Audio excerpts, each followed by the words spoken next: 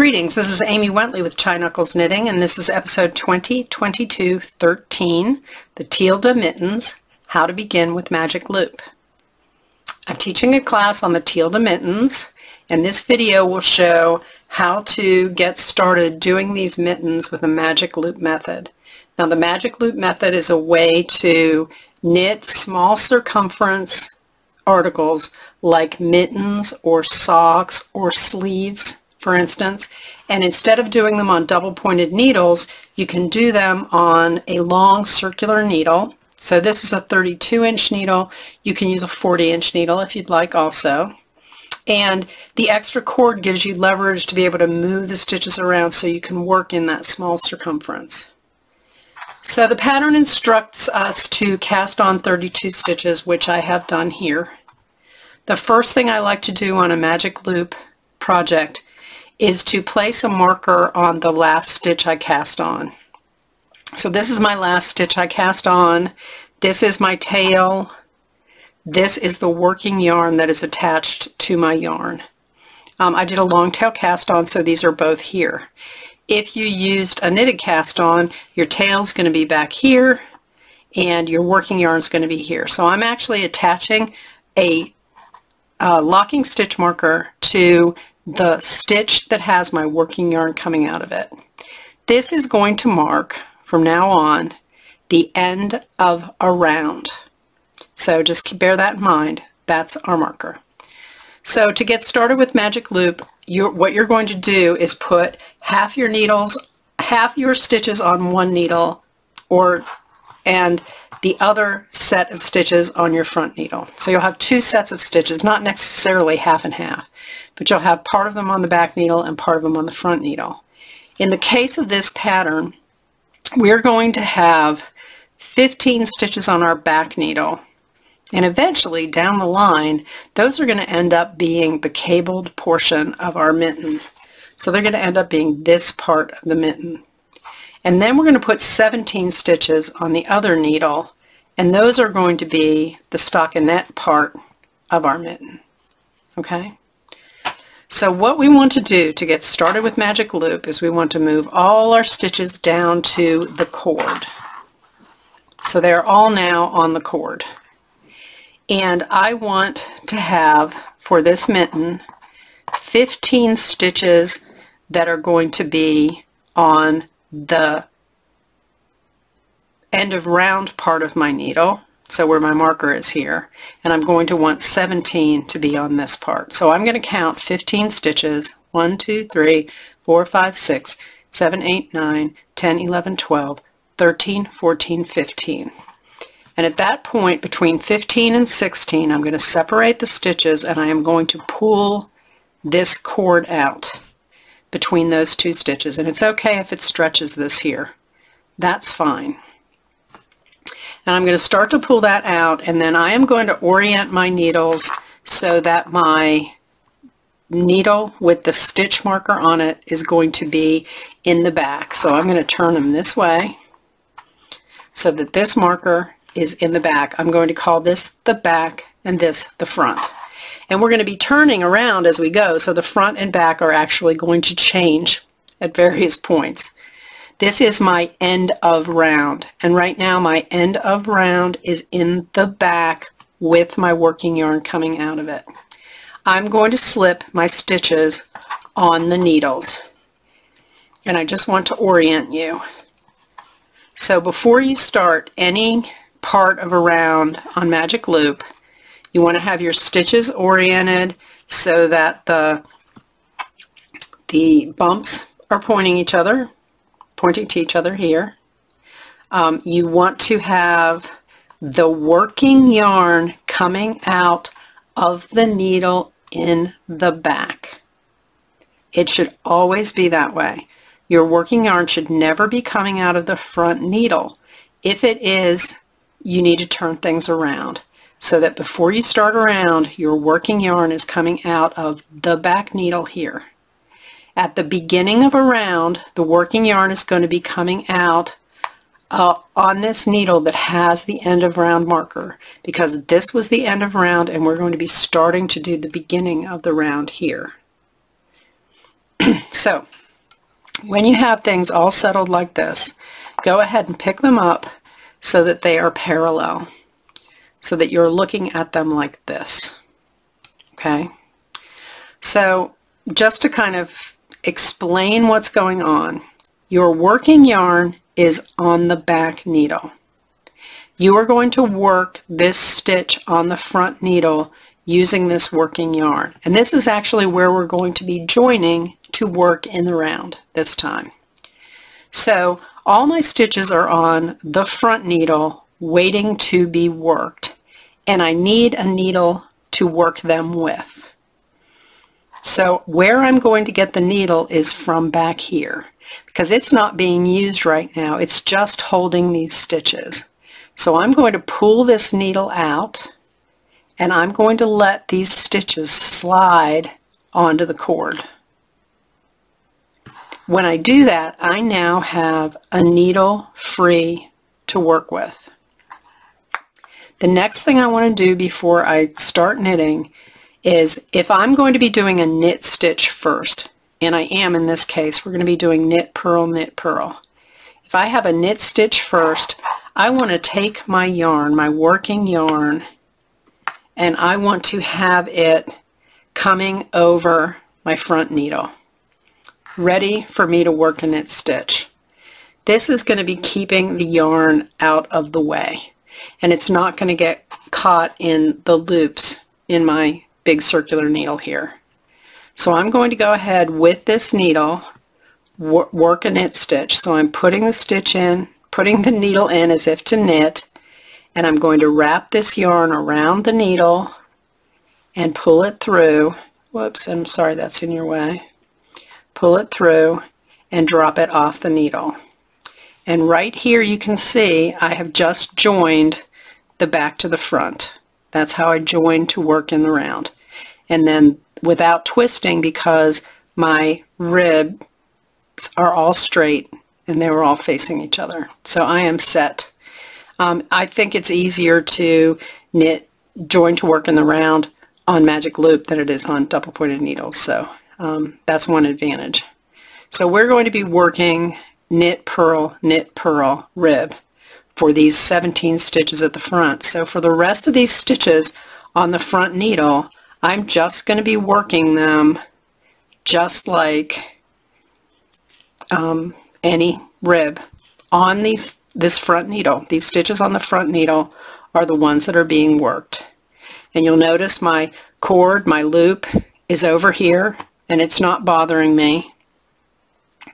And I'm just um, knitting away on that front needle with the ribbing, knit one, purl one. So bear with me while I get to the end of this needle and I'll show you what happens then. And when you're starting with magic loop, I suggest just taking it slowly.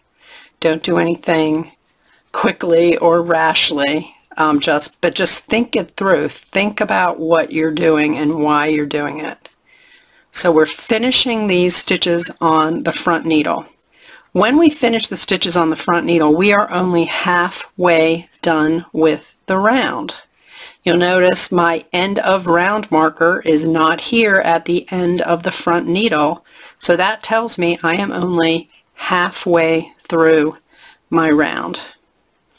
So I got to the end of the front needle, or I am about to, okay, so I'm about to get to the end of my front needle, and now I have an empty needle again.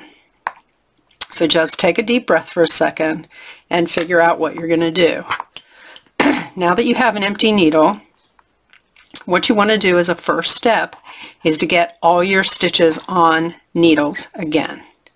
So go ahead and pull your cord this way and get these needle, these stitches back on the needle. And then you're going to take the whole thing and you are going to turn it clockwise, I guess. So you want to turn it so that you now have the end of round stitches the one with the marker for the end of round on the front needle and you have the stitches you just completed on the back needle. You can see how there are more stitches done on the back needle than there are on the front. So that's one clue to you that you have not finished the round. also, your working yarn is now coming off the back needle. Remember I told you your working yarn is never going to be anywhere else but coming off the back needle.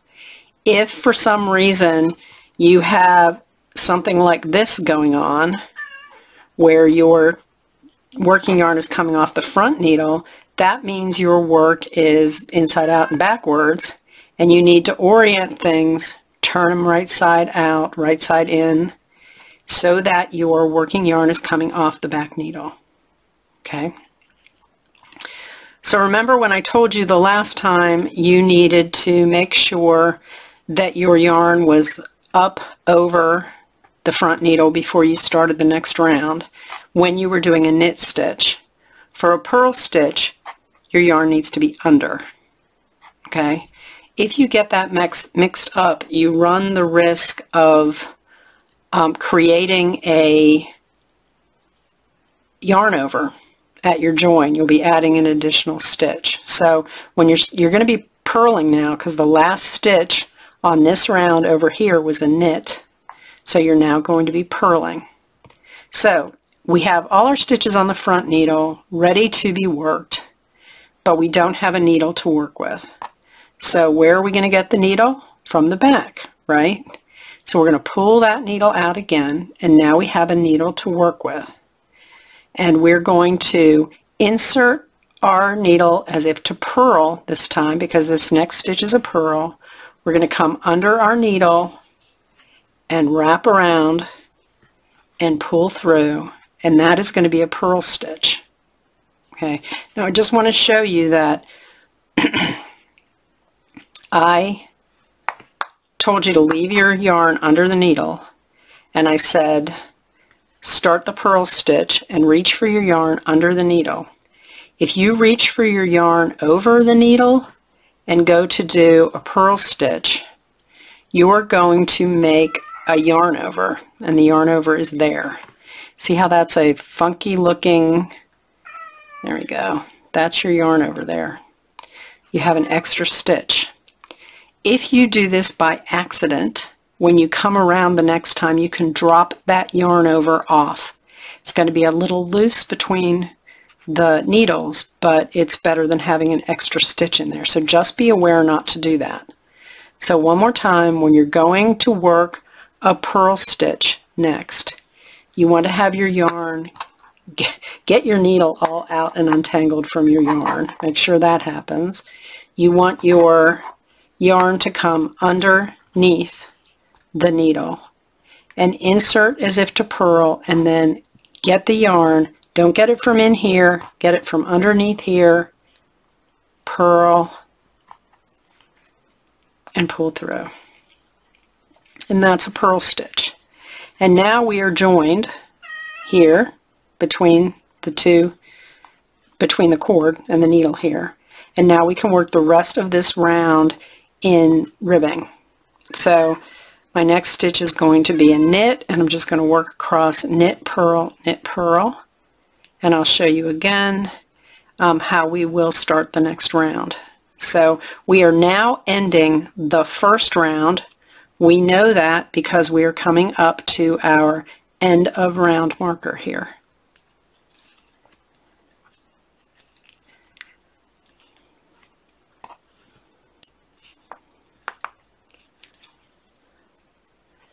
And if things get a little tight here, because sometimes this last stitch gets a little bit tight, because it's been on the cord, you can pinch your cord together here and move the stitches up. It loosens that stitch up a little so you can get there. So what was I doing? Okay, purl. And I will now show you what happens when you get to the end of the round.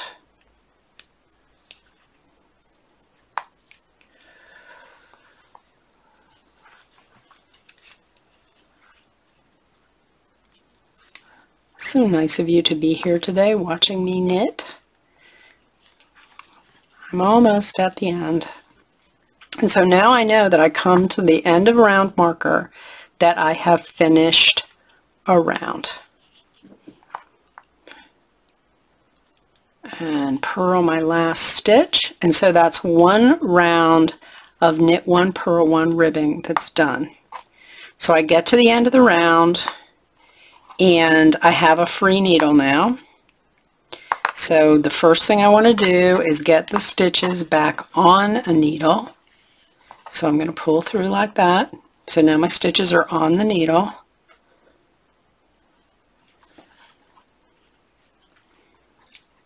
Got that? And then I want to turn the whole business counter or clockwise. And so now I have my end of round marker at the back with the working yarn coming out of it. That means that I am ready to start a new round. So just one more time, I'll show you how to do this. Um, you know that your working yarn is coming out of the back.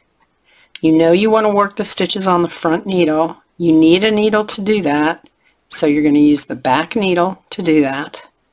You're going to make sure that your yarn is going over the top of the front needle since the next stitch is a knit stitch. You're going to knit the next stitch. Just get your yarn again and knit that first stitch. And there you go. And the reason I'm telling you to get that yarn up out of the way is so that it doesn't get stuck in your loops here. That's kind of annoying. So once you I'll show you this again real quick. Once you get that yarn up and out of the way, so it's just up and out of the way, you put your needle in and then you can grab the yarn again and work with it. Okay. I'm going to continue now to work the knit one purl two ribbing around and then that will end this video. Um, the next video is going to cover how to do a make one L, a make one R for the setup round, and then it's going to cover how to do the cable stitches for the mitten. So thank you for viewing this video today, and I will see you back for the next video. Bye-bye.